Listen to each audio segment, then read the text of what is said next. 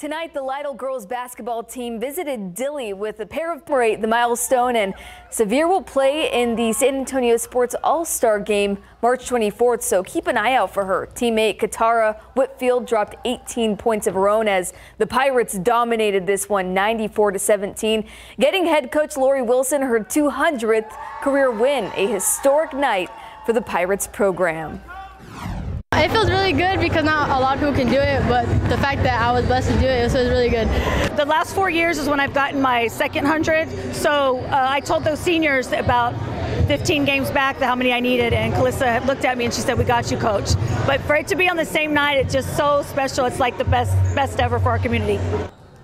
With the win, Lytle stays unblemished in District 28 3A play. The Pirates next face Hondo before closing out the regular season against Crystal City.